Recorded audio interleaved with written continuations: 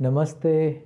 विजयदशमी के सुंदर पावन पर्व पे आप सबको बहुत बहुत हार्दिक शुभकामनाएँ। इस पर्व में मैं आपके साथ कुछ एक बातें आज साझा करना चाहता हूँ, जीवन के विषय में। ये जिसे हम जीवन बोलते हैं, ये एक परस्पर संघर्ष है। दो चीज़ों के बीच में, दो डुअलिटीज़ के बीच में। ये संघर्ष है, धर्म और अधर्म के बीच में। और ये संघर्ष परस्पर चलता जाता है, हमारे बाहर भी और हमारे भीतर भी। आज इस संघर्ष को थोड़ा समझने की कोशिश करते हैं। अगर हम रामायण काल में देखें, जिस पर्व को हम आज मना रहे हैं, रावण की नज़र थी माँ सीता पे। उसकी डिज़ायर्स अनकंट्रोल्ड हो गई। अनकंट्रोल्ड डिज़ायर होने की वजह से पराई स्त्री पे उसकी बुरी नज़र पड़ी। अधर्म। क्योंकि जो तुम्हारा नहीं है, तुम उस पर अपनी दृष्टि डाल के उसको पाने की कामना कर रहे हो। अधर्म की शुरुआत हो गई यहाँ पे। फिर, अपने बल का, अपने पैसे का, अपने गौरव का बड़ा अभिमान हो गया था रावण को। अभिमान, जो कि बुद्धि को, मति को भ्रष्ट करता है। फिर से अधर्म की शुरुआत हो गई यहाँ पे। तो रावण इस पूरी कथा में अधर्म का प्रतीक बन गया।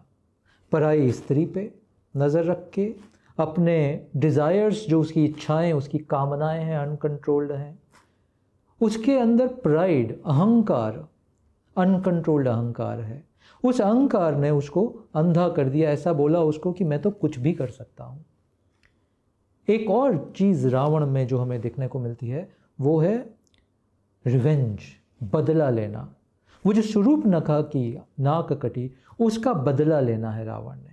वो क्यों नाक कटी, उसको नहीं देख रहा है वो। उसका रीज़न क्या, उसको नहीं देख रहा है। मगर उसको बदला लेना है उसका। तो बदले का भाव। रावण बना प्रतीक अधर्म का। इधर राम है, जो धर्म का प्रतीक है। धर्म यानी वह जो जीवन में हारमोनी ला रहा है, जो जीवन में सुख, प्रेम, आनंद ला रहा है, जो जीवन में एक बैलेंस लेके आ रहा है। जो सही है, वह कर रहा है। उसको धर्म बोलते हैं। यहाँ राम प्रतीक हैं धर्म के। फिर कथा में आगे चलते हैं। अब हम महाभारत काल में चलते हैं। इसमें वो पांडव धर्म के प्रतीक हैं और कौरव अधर्म के प्रतीक हैं। कैसे? वो जो कौरवों के बड़े भाई हैं, क्या नाम है उनका? दुर्योधन। दुर्योधन में भी बहुत अभिमान है अनकंट्रोल्ड अभिमान है, और दुर्योधन में लालच है। वो किसी भी चालाकी को, की हद को पार करके भी पांडवों की ज़मीन को हड़पना चाहता है। पांडवों के हक को हड़प लेना चाहता है दुर्योधन। यानी फिर वही बात आई, जो उसका नहीं है, वो उस पर अपना अधिकार जमाना चाहता है। स्त्री का अपमान करता है दुर्योधन, अधर्म के रास्ते हैं सारे। और इधर पांडव धर्म का प्रतीक है। कैसे? जो राइटफुली उनका है, वो सिर्फ़ उतना ही तो पाना पाना चाह रहे हैं। जो अपमान हुआ अपनी स्त्री का, उस अपमान को ठीक करना चाह रहे हैं। धर्म का प्रतीक हुए। और ये दोनों युद्ध, इन दोनों युद्धों को चाहे वो कुरुक्षेत्र का युद्ध हुआ या वो श्रीलंका का युद्ध हुआ, इनको हम धर्म युद्ध बोलते हैं। क्योंकि सही जो है जीवन में करने योग्य, उसको एस्टैब्लिश किया जा रहा है। फिर से, हमारे लिए आज ये जानना ज़रूरी है कि धर्म और अधर्म में अंतर क्या है। धर्म वह जो खुशहाली लाए, जो सुख लाए, जो आनंद लाए। अधर्म वह जो अनंत दुखों का कारण बने। देखो कौरवों की कहानी। अनंत दुखों का कारण बने उनके कृत्य, उनकी, उनके कर्म, क्योंकि अधर्म में गड़े थे। रावण के कर्म देखो, अधर्म में गड़े थे, अनंत दुख का कारण बने। भगवान राम के कर्म देखो। धर्म में, धर्मयुक्त थे। अनंत सुख का कारण बने। आज तक वह सुख हज़ारों वर्षों तक भी मानव जाति उस सुख का लाभ उठा रही है, उस सुख को समझ रही है। उस डिवोशन को, उस सत्य को, उस ज्ञान को, उस आनंद को आज भी हम जी रहे हैं। ये जो युद्ध है जीवन का, ये जो परस्पर संघर्ष है जीवन का, धर्म और अधर्म के बीच में, ये सिर्फ़ बाहर का संघर्ष नहीं है। ये अधर्म के बीज, ये अधर्म के राक्षस हमारे भीतर भी हैं। और ये धर्म के देवता भी हमारे भीतर हैं।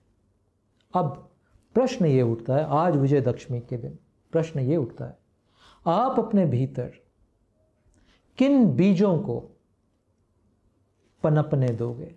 क्योंकि बीज दोनों हैं आपके भीतर डुअलिटी से बना ये जीवन।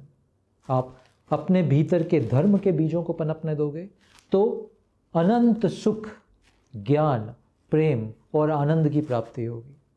और अगर आप अपने भीतर अधर्म के बीजों को जन्म देने दोगे तो अनंत दुख पश्चाताप कुलनाश के बीज बो दिए फिर हमने। ये चॉइस आपके पास है। आज हम विजयदशमी का ये सुंदर पर्व मना रहे हैं। बट ये हमेशा याद रखें कि अधर्म और धर्म आपके बाहर नहीं है, आपके भीतर है।